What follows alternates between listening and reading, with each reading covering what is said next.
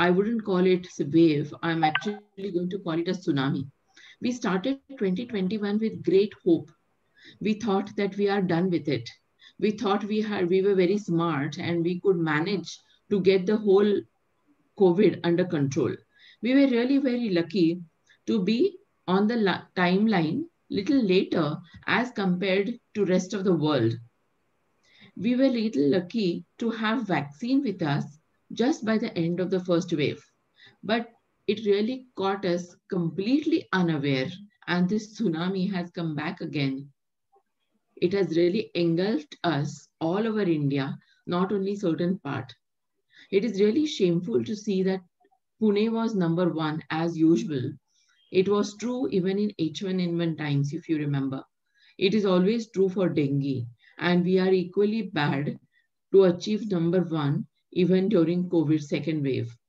So I think it becomes a great group responsibility for all of us to behave in certain fashion and really to overcome this tsunami as soon as possible. If you see these numbers, you could see if you compare the last year of 22nd, say June, July, we are far ahead as far as the numbers are concerned during April. So it is much more. We were very, uh, you know, trying to solace, give solace to ourselves, saying that, okay, okay, it is second wave again, but doesn't matter, infection may be milder. Then we were saying, okay, okay, doesn't matter, there are less number of patients in ICU. But very frankly, it is not so. The numbers are sweeping. We always keep on hearing the ambulances going all over the place. We are always aware that there is hardly any bed available for a patient who deserves oxygen and who deserves ICU. And as you can see on the map, we are really the largest uh, cover in the map of COVID in current times. And this is what is happening with healthcare workers all over the place. And there are some very, very simple things which we Punekars, you think could not have followed? Why are we avoiding this? We know that if we are not using a mask and one of the persons is infected, there is a 90% risk of transmission. As it goes down with one mask, both masks, and the distance, as you can see at the end, there can be 0% risk if we can actually follow the distance and if we can follow both-sided masks. And why are we not able to do that? How long to wear the mask is always a question being asked. And as a doctor, I'm being asked that very sarcastically. Is the life going to be the same again? and you are telling us to take vaccine. But are you be are we going to be able to move around without a mask after taking vaccine? And the answer is no. It is going to be even up to 2022 that we may have to keep on wearing masks. There is a new recommendation from WHO or CDC, US CDC actually. It is saying that not necessarily that we have to wear N95 mask you can wear a simple surgical mask. A triple layer mask, which is called simple surgical mask, which we always use in ICUs, in operation theaters, in the hospital.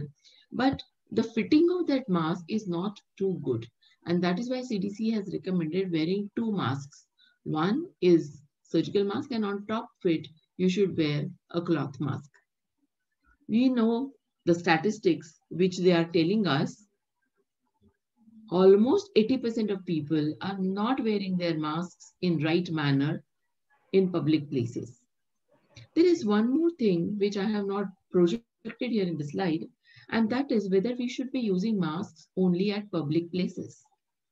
You know, in current times, when we are home isolating hundreds of people and we are following up with them, families, whole of the families are getting affected elderly people who have never gone out of house are getting affected. And why is that? Because youngsters who are all over the place and are bringing infection home. And it has now really become mandatory to reverse isolate elderly people at home. literally speaking, we should be using masks even at home. Mostly what's happening, we feel that I, will tell you this a uh, few of the patients whom I have consulted saying that, okay, it started with some scratch in the throat or mild body ache. We thought kuch nahi hoga. And by the time these people are getting themselves checked, it is not less than five days. And in those five days, they have already spread the infection to rest of the family. There is something called as R factor. What does it mean? One person index case infecting what number of other patients. That is called as R factor. And in fact, the R factor is much higher as compared to the last year. So whether the infectivity has changed or whether we have changed our behavior and we have become reckless and we are not taking enough precautions, we have to remember. We have to keep in mind and avoid all that. A lot of people are asking me about whether the infectivity has increased or whether the mutations which have caused all this increased rates of spread. Now mutants are there. Virus is there to mutate. It is equivalent almost. Because I always feel the small particles, life particles or the smallest forms of life are probably more evolved than us. They can change their genetic material in few hours. It, it is not necessary that we have to have UK variant, we have to have Brazil variant. There is now an Indian variant also, and there are even double mutants which have been identified. But let me tell you, a National Cell Center, Cell Science Center, has studied various mutants in Maharashtra. And the virus is different in Nasik, virus is different in Satara, virus is different in Pune. So we cannot be rest assured that viruses are last placid and just lying like that. No, they are going to mutate. And we are the ones who have been given a high IQ by the nature have to understand that we have to be protective for ourselves. So this was one of the cartoons which I immensely enjoyed that in 2020, we are actually throwing away coronavirus at the end and 2021 arrives with a great hope because, because of the vaccine. And we were so hopeful.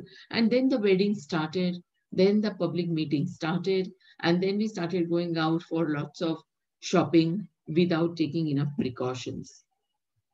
We were also hopeful because we heard, I'm really feeling so proud as a healthcare worker, especially that we have two brand new made in India vaccines available so soon so soon in 2021. So we started with a bang for vaccination. And so it was really a good positive thought that we may not go into second wave. Rest of the world went into second wave. Europe was sweep, sweeping. America was sweeping with the second wave of corona.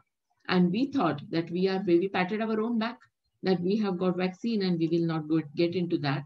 But the epidemic behaves in same fashion all over. And I will not be surprised if we are not very sure of our behavior, even the third wave will come. And we have to be extremely careful, extremely careful. So we are all ready for COVID-19 vaccination, which is going to be the only hope. There are multiple countries in the world who have started vaccination with a bang, including India. But the proper percentage of population that gets vaccinated is very important to control the uh, complete epidemic. If you see here, even though we have got something like 13 crore people vaccinated today in India, it is very, very small percentage of our population which is fully vaccinated. So it is extremely important, our own responsibility that all of us go ahead. Now on 1st of May, it is going to be open to every citizen above 18 years. So what is a vaccine? Let us come to very basics. Vaccine is a biological preparation that improves immunity to a particular disease. It can be used for two reasons. It can be either prophylactic or it can be therapeutic. It is an immunobiological substance designed to produce specific protection against a given disease. It stimulates the production of protective antibody. When some foreign body or foreign protein enters our body, our body produces something to combat it and that is called as antibody. So other and other immune mechanisms are also stimulated. So there are various types of vaccines. Obviously, they are not the natural bacteria or viruses themselves. They are, they may be live, but they are attenuated, means half dead. Half dead viruses or bacteria are injected in our body to create uh, immunity in our own body. Or they can be inactivated and killed vaccines. Sometimes we use toxoids. So toxoids are the toxins produced by, say, for example, tetanus. We are all aware of TT. So TT is tetanus toxoid, where only the toxin produced by the uh, bacterium is used. Or there can be cellular fractions, or there can be combinations. So to have the examples of them, uh, we will come to know, say, DPT. You have heard about it in children. Diphtheria, pertussis, and tetanus is used in the combination. Vaccines contain only killed or weakened forms of germs like viruses or bacteria. They do not cause the disease, but put you or put you at the risk of complications. Sometimes, most, most of the times we receive it by injections, but some are given orally by mouth or spread into the nose which is the port of entry for that particular virus.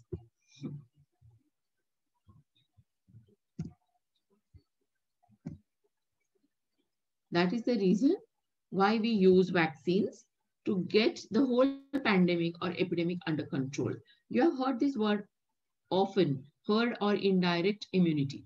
So in the society, we are still giving and taking infection. So there is a chain reaction that is going on. But if about 60% of people in the society have their own immunity, then that is called as herd immunity. When many people have immunity, this chain breaks and the infection does not move from one person to another. This is also indirectly protective for people who cannot be vaccinated. A small percentage of population may not be vaccinated. But if there is herd immunity, if the people around that particular person get themselves vaccinated, the person who can't be vaccinated also can be protected. Vaccines greatly reduce the risk of infection. So we are saying greatly. We are not saying 100%, but you must have seen a message on WhatsApp which has been circulating these days, which shows that breakthrough infection percentage is extremely low. They have also said that even if you get some amount of infection after the vaccine, it is very, very mild. And I have experienced it, I have seen it. Even in doctors, I have seen it that they may get infection, but it is not very severe. So it is protective. There is no doubt, doubt about it. Vaccines safely deliver an immunogen, which is a specific type of antigen which elicits immune response and protects us from it. Sometimes we use booster, you know, tetanus we take every five years, every 10 years. During pregnancy, it is administered. Or if there is rabies, in need of rabies in, uh, antigen, uh, or vaccine, then we sometimes take three or five infection, uh, injections, or even for hepatitis for that matter. There are certain number of injections given at different intervals. If it is completed within one week, then a booster may come after three months. So something like that. So the booster is required to boost the immunity which has been already developed. So people are saying if the virus of COVID changes, what is the use of taking vaccine? But you can always take a booster and the booster may be little tweaked according to the RNA which has been changed by the virus. So, my friends, there is no alternative to take vaccine. We will come to that and we will look after other aspects of that as well. So live attenuated vaccine example is oral polio. Now for a child at home, we are aware even the Rotary Club has run this great campaign all over India and it, they have made India almost polio free. Do we ask a child, do you want vaccine or no? We don't. We just pick up the child and we go to the center and we give the drops. Luckily, it is not a painful thing. But if BCG or any other in injection is to be given also, we don't tell the child, we don't ask the child permission. We just say, come on, baby, you have to go and take the vaccine because it is for you to get protected for rest of your life. So there is no question for us to choose whether I want to take or not the vaccine. There are inactivated or killed vaccines. Examples are this, typhoid, cholera, pertussis, rabies, etc. And hepatitis vaccine. There can be toxoids like diphtheria, and tetanus. Vaccines which are prepared from extracted cellular fractions are like meningococcal vaccine. Now, as a consulting physician, I get many families coming to me. The child or the son or daughter in the family who is around 18 years, who is planning to go abroad for the studies, say to UK or USA.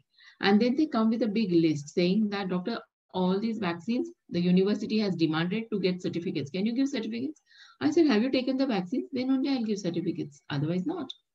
And in 15 days, we cannot complete all the vaccines. So Western countries are highly aware that time to time various vaccines need to be taken and if you are not protected they don't allow the child to enter the university so meningococcal and pneumococcal vaccines are cellular fractions which are used and then we have to give it to the child who is planning to go away to another country to study or there can be some combinations we'll not go into the science part of it too much with this background we will come to some further points which all of us need to know. We know how the whole thing has started. It is exactly one year or slightly more than one year since it came, since the first case came to India. And we are back to square one or even worse than what we were last year. So it is very, very important for us to resolve in our own mind that we don't want to go to this situation again. We have to learn from others' experiences. So we don't want to go by this. We don't want this particular situation to come again. And because of that, the only answer which we should respond to is basically using masks, using precautions, and taking vaccine. So on this quick flashback, all of you are aware, everybody, even the child knows how the whole thing started from Wuhan and how it has spread all over in 19 on 19th October 2020, BBC had declared Delhi staring at coronavirus disaster, and today it is same situation again. So where are we? We are still at the same situation, huge numbers, and it's only us who are to be blamed.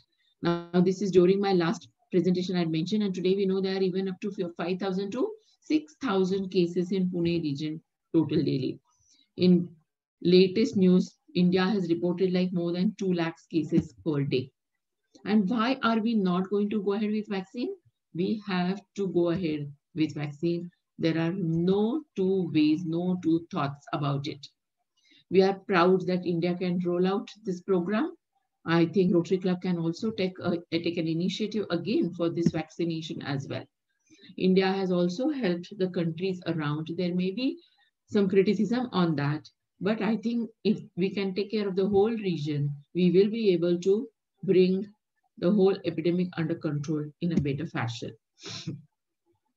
so there are various types of vaccines which are available, but for India, we have got two main vaccines, Covishield and Covaxin, both of which are available freely now.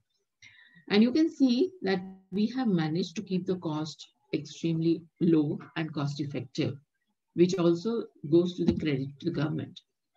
We have to give a consent. Is it legally binding on us? No, it is not legally binding. It is still by choice that we are taking it. Okay.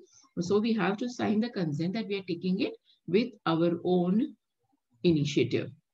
So how do these two vaccines compare? Covishield and Covaxin. So Covishield is a type of vaccine which is recombinant vaccine based on viral, viral vector technology means there is a harmless um, vector or harmless virus called as adenovirus. And the spike proteins of coronavirus are embedded onto the surface of this particular virus. So this virus acts as a vehicle, vector, and it carries that particular protein as an antigen in our body. How many doses are required of this? 0.5 ml each, two doses. About Covaxin, this is the whole virion which is inactivated. So all the types of mRNA of that virus is injected in the body of a person who is receiving vaccine. Both the things come, both the vaccines come in the form of a vial, which has got multi-dose, like 10 or 20 doses in each vial. Okay, shelf life is about six months the route of administration is intramuscular, and you have seen that selfie or Welfie, as it is called as vaccine selfie is Welfie, I think. so schedule is two doses. Initially, it was four weeks apart. I have taken it four weeks apart, and I'm feeling very good to say that I have checked my own antibody level, which is promising. And now the recommendation is about eight weeks. So we can take the second dose about six to eight weeks apart. It can be stored in two to eight degree at all levels. And the uh, Covaxin, again, two, two doses are taken two weeks apart and storage is in the same fashion. And both have been proven to have good immunogenicity. In India, vaccination is not mandatory, but we cannot choose which vaccine to take once you decide.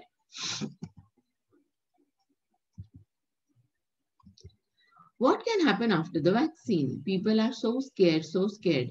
But actually, there's nothing, nothing to be scared of because we have got so many children at home who have got vaccinated. Maybe one day they develop fever. They may develop injection at the site of injection, pain at the site of injection. There may be fatigue, there may be fever, headache, body ache, nausea, abdominal pain sometime, sweating episodes. For 24 to 48 hours, it may last. If your fever lasts beyond that, then you need to be tested. But so many people who are describing that they got infection after the dose of vaccine, it is not really caused by vaccine because there is nothing alive in the vaccine and that is going to go into your muscle. But for virus to cause infection has to enter through the nose. And so vaccine gives infection is a very, very wrong conception. It is not true at all. The port of entry of the virus which causes infection is only through nose or mouth and nothing else. So we are in middle of very, very ambitious program of vaccination.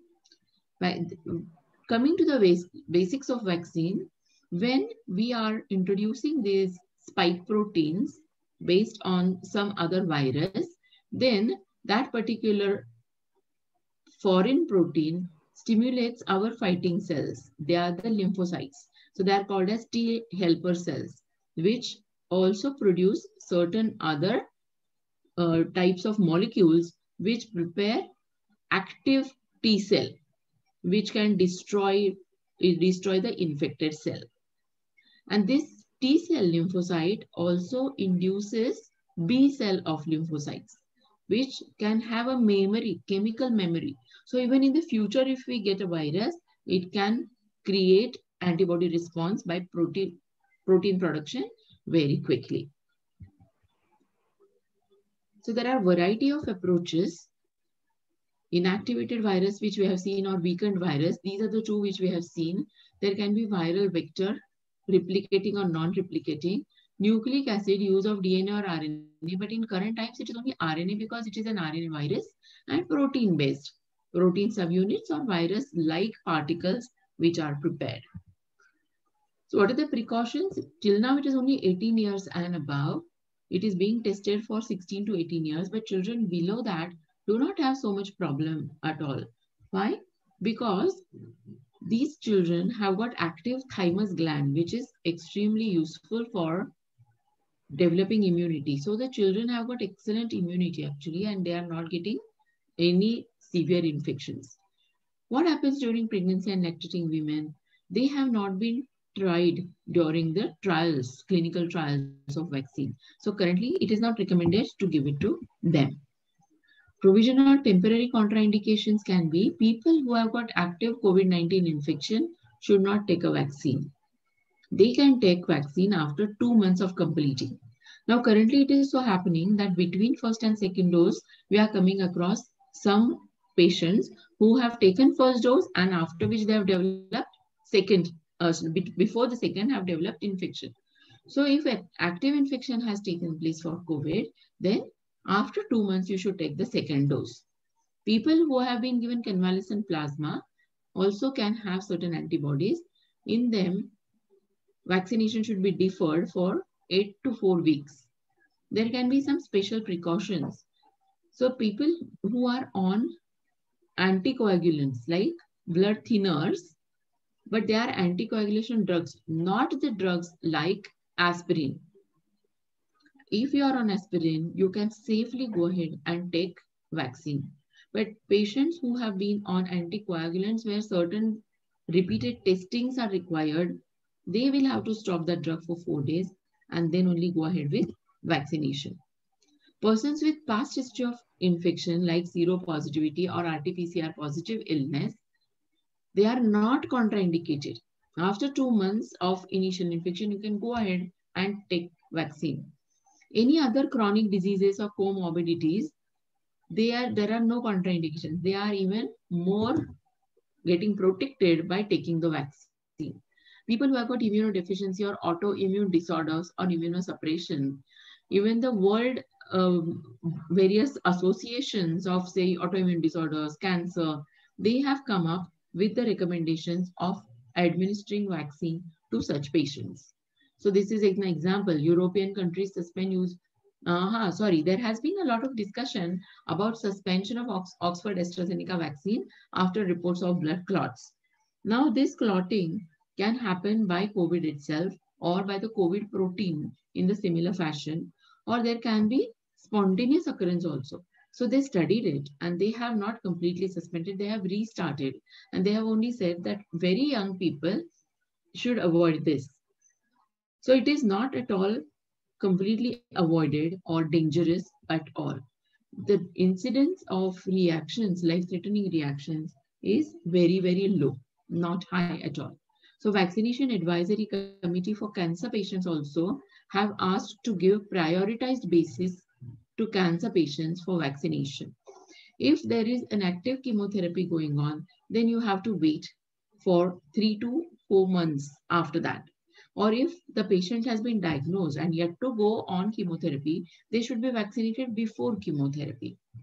And if a patient cannot be vaccinated, caregivers and household members should be vaccinated themselves so that there is a reverse isolation for people who are at risk.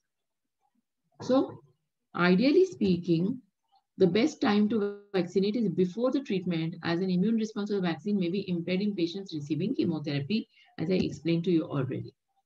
So this is various types of phase trials. And now we are already in five, phase five, not thousands, but literally crores of people have participated in this and their reactions have been observed very closely. And there is nothing life threatening. And we must go ahead with vaccination. There may be some more vaccines which will get introduced in India, like Johnson & Johnson or Pfizer or Sputnik. So there are different technologies in that.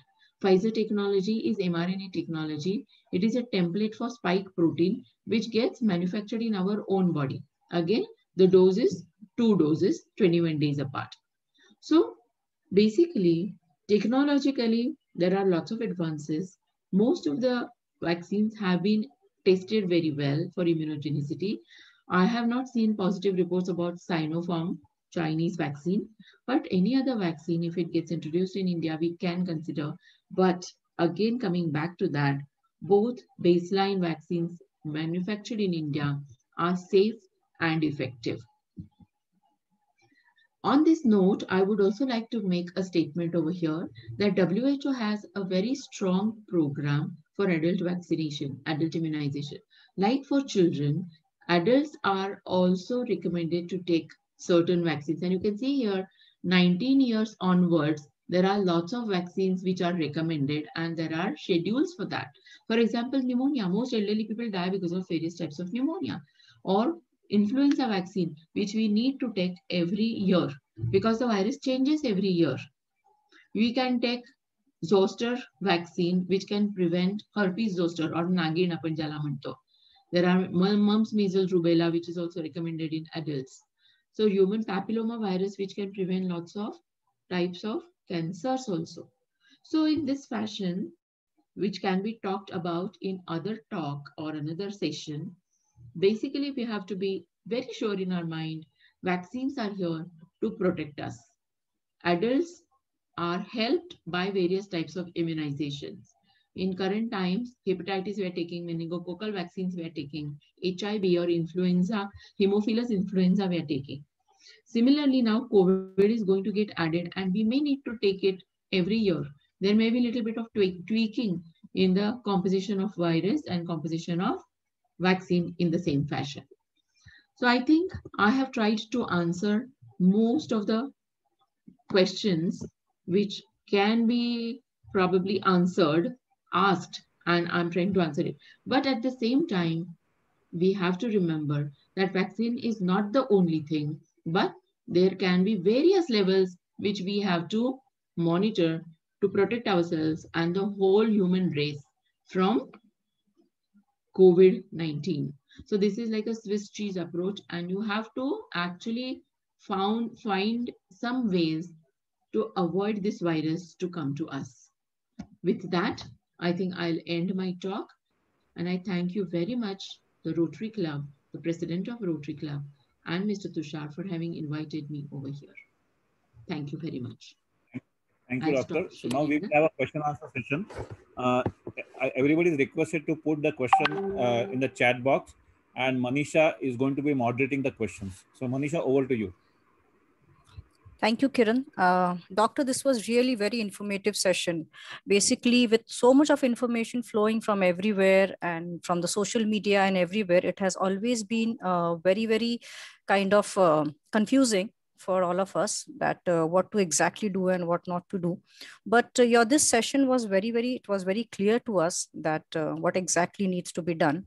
So here I have first question from um, Shubha Gokhale. She's asking, that uh, once taking both jabs, how long will their effect last? Do we have to repeat right. the doses after some months? Right. So that is what I was explaining to you about booster. And it is very clearly shown that after taking the second jab, it is at least four weeks before antibodies are developing in adequate number or adequate quantity. So first of all, till that time, we have to be very protective and antibodies are lasting for about six to eight months for sure, probably up to year. So as the time passes, we will come to know about that also because ICMR is studying the population for that as well. And I already told you that it may be likely that we will have to take a booster. Okay, okay. Then uh, there is a question from uh, our own Rohit Kulkarni. Yeah, he's asking, can a breastfeeding mother take the vaccine? Yes, breastfeeding mother can take a vaccine and there is no contraindication for that. Only okay. the pregnant lady cannot take a vaccine. Okay. Uh, then there's another one from uh, Anjali, and she's asking that my husband had two incidents of DVT. He is now on, uh, I can't Xarelto. Xarelto, right. I understand you said that tablet needs to be stopped for four days before taking the vaccine. Right. However, in light of two incidents of DVT, what do you suggest? Right. Hi, Anjali. How are you? So it is right question which you have asked that Xarelto is a strong anticoagulant and that should be stopped for about four to five days before taking a vaccine because it can cause a hematoma in the uh, at the site of injection by itself. So we have to be very, very careful. Okay. okay? Yeah, then this is another one that is coming from Nikhil. He's asking, is taking steam effective to prevent the infection from getting severe? Well, I don't think once infection has been contracted, steam is going to help you, but steam can help you for the local clearance of phlegm. And that itself can help the clearance of the virus by the body. Okay. And uh, yeah, doctor, thank you so much. Then there's another coming from Manoj Kopragade. He's saying that if no side effects after first vaccination means no effect of vaccine, antibodies are not generated, this happened with my mother. So these right. are yeah. So the responses after the vaccine have been variable. Responses could have been hardly any response to very high degree of fever. And i have observed in health workers because we were the first ones to have received vaccines. Uh-huh. so my youngsters in the sense the students or medical residents developed very high degree of fever most of them. Because uh-huh. youngsters have got far better immune response Mm-hmm. As we grow older, there is something called as immunosenescence. Means immune system also starts becoming little lethargic maybe. So there is no fever or there may be just mild fever, slight body ache and nothing happens. But this is not equivalent of how much antibody that particular person will develop. Recent, okay. I, I had hardly any fever. For one day I had fever, I had to take one or two paracetamol and that's about it. But when I checked my antibody some time ago, it was a very strong level of antibody. And it was, I, I it really gave me good belief on this vaccine. I had taken Covishield. Okay, great. Then there's this one that I missed. It is from Barkha. Uh, she's asking, I had COVID six months back and my CT value was 13, but had no symptoms, just Three slight zero. fever. Yeah, uh, th- 13, 1 3. 1 3, okay. Yeah, uh-huh. yeah, CT value was 1 3, 13, but no sim- had no symptoms, just slight fever. Why was this? Again, the response also changes from person to person. See, these uh, because of this COVID, there has been so much of talk about immunity, and we feel immunity is like equal to one particular response. It is not so. Immunity changes from person to person. When something attacks us, we have to give equal reaction, a, re reaction equal to action. If it is less than that, then we get engulfed by the virus. But if there is some action of the virus and we give hyper reaction, like using a machine gun to kill a rat, then rest of the things also get damaged. So similarly, if there is hyperimmunity, then we ourselves get damaged with that immune response. So there is a lot of variation. So it is not at all exactly same mathematically. And that is the difference between the sciences like mathematics and physics and biology, because there is so much of variation. Okay, okay. Uh, then this is another one which is from Arhat. He's asking, how can it be ensured that there is no any future side effects of vaccine on the body? Has any study been done on that? How can it be if the vaccine has got in, uh, introduced only recently? what are you thinking about? Are you thinking on the Mars we have vaccine or something?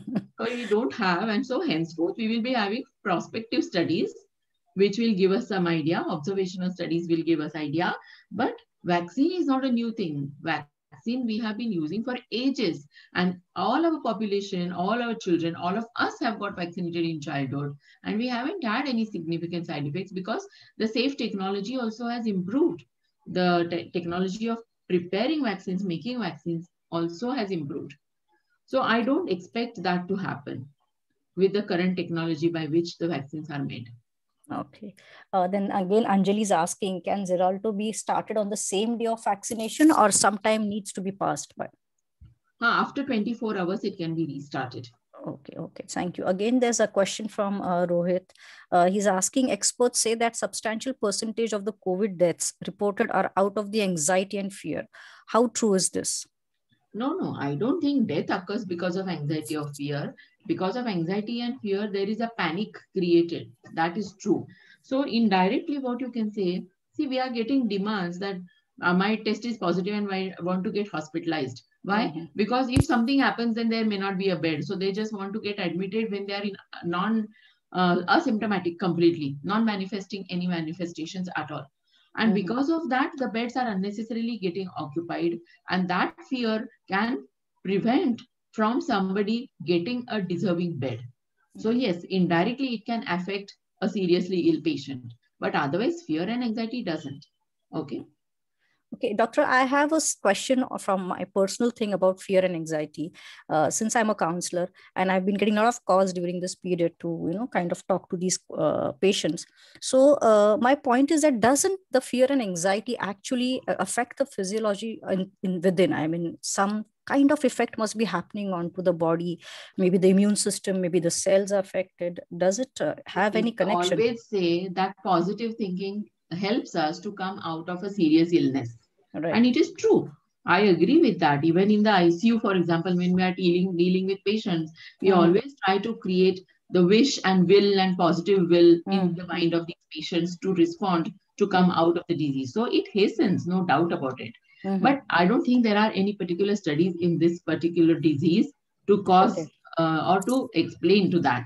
And that is why I don't want to sp- spread misconceptions. Right. Right. Okay. Thank you. Thank you for answering that. Uh, then we have another one from Sri Ginde. He's saying government is falling short in conveying objective of vaccination, of reducing severity mortality. mortality. mortality. Yeah. People strongly believe that they are getting COVID despite vaccination. So that's why I explained, I think, at length that there is a possibility of contracting a small infection, but which will not go to the severity. The first study came out of Scotland, which showed that people who contracted disease again after getting vaccinated, mm-hmm. they were nobody needed to go to ICU, for example. Nobody needed to come to hospital at all. Mm-hmm. Forget about ICU. So mm-hmm. mild disease can occur, but then you have got good antibodies, so you fight it out. Right. So right.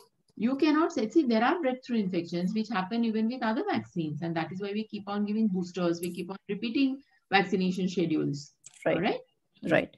Then it there's another one. stupid to Sorry. think that because there could be a breakthrough infection, I'm not mm. going to get vaccinated. I will not want to take name of a person, but mm-hmm. a person, a doctor, a senior doctor from anti-vaccination lobby. Not only that, he always used to tell me, why are you telling people to wear masks so much?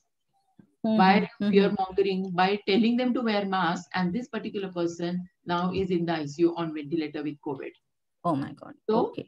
Should not happen. Okay. Okay. Okay. So uh, on this note, I would rather say that not only the common people, but sometimes even the doctors are going into the it's nothing yes. much serious right kind of yes. mentality yeah yes. yeah so then there's this another one from nikhil is asking social distancing wearing masks and avoiding crowded places apart from these standard protocols do you suggest any other things in order to prevent the infection see now you will you have seen some time back during last year the theory was the droplet theory that mm. clean surfaces because when we are talking we always spread the droplets in which the virus is spread and mm. now there is a new theory which has come that it is airborne and it is spread through. Mm. See, it hmm. depends. Droplets are not going to remain droplets all over all the time. They are going to get dried up and maybe the virus particles are floating around. So all these things are true. And so the precautions have to be taken, which are two very basic precautions, wearing proper mask and washing your hands. Okay. And that's it. And Shub-. Yeah, Shubha is again asking that are uh, are there any substitutes for remdesivir? substitute for remdesivir. Yeah, remdesivir. First of all, remdesivir has been hyped a lot. Mm-hmm. Hi, Shubha. Good to see you. Actually, remdesivir has been hyped a lot. It is like using broad spectrum antibiotics, you know, for a small upper respiratory tract infection, you know, and then we have landed up in severe resistance to bacterial antibacterials. Something mm-hmm. similar. All the trials which came up showed that remdesivir at the most reduces your stay in the hospital by two days it is not giving any mortality benefit. So remdesivir is not that great a drug first in first place. And only there are only two drugs which have been shown to have benefit. One of which is oxygen. Oxygen is a drug and oxygen helps. And second one is steroids. That also small dose of steroids, which has helped to combat the cytokine storm which comes up in the course of COVID illness. So remdesivir, now there will be so many drugs, with other antivirals also will be tested, tried, and all the other pharmaceuticals have come up with it. Mm-hmm. So there can be some alternatives which will get developed, and remdesivir also will get reintroduced. Okay. And now they are manufacturing it again. Okay. Uh, then there's another one from Sandhya. She's asking, I was tested positive and my quarantine period of 17 days is getting over tomorrow. When is it advisable for me to take the vaccine? from the day you were tested positive, let two months pass, after which you take the vaccine, first dose of vaccine. Okay, that's great. Uh, then there's another one coming from Yog. He's asking after Corona, when to take vaccine? First dose, second dose if Corona infected is after first dose. So answer is the same. Mm. From the day, whether it is happening um, with, with before first dose or between first and second dose. From the day you test positive, let two months pass, either okay. for first dose or starting vaccination or for the second dose. Okay, great. Then this this one coming from Manoj Kopragade, he's asking, uh, even plasma is not giving benefit. Then why doctors are suggesting plasma? See, everything is ifs and buts in uh, medicine. It is not at all one plus one equal to two. Okay. Mm-hmm. Secondly, if you give antibodies which are given through plasma in early stage, then only it can neutralize the uh, virus. But if you give it after the cytokine storm has started and all the tissues have already got damaged, and what plasma is going to do? Nothing. Right. Because the hyperimmune response has already set in. So it is already damaging and there are various other molecules involved in it. Okay. So on this note, doctor, I have a question. So you said that it has to be given in the early. So when is this early phase, you know, like? It is like first two to three days. Okay, so it's uh, the first. There are guidelines given, but actually ICMR has not recommended plasma therapy so much because the trial which was done under ICMR did not prove to be very successful to avoid severity of mortality benefits. Okay, okay. Uh, then there's another coming from Rohit. He's asking if there is, uh, if this is what is about remdesivir, then why, why can't doctors go public against this company and based hype agenda? So why doctors? Government is doing enough about it. Why are your ears and eyes not open to see what it is? ICMR has given guidelines also when to use remdesivir, how much to, what are the indications. So it should not be misused at all. But it is not only the doctors.